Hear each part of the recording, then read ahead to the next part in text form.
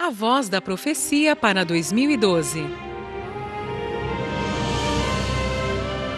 O profeta Joel.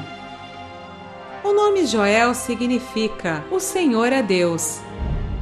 Pouco se sabe a respeito da vida e da época do profeta Joel. É provável que ele tenha vivido e profetizado em Jerusalém.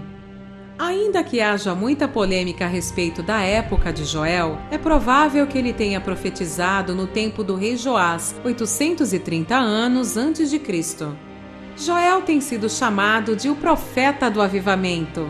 Ele compreendeu que o arrependimento sincero é a base da verdadeira espiritualidade, por isso batalhou para que seu povo se arrependesse de verdade.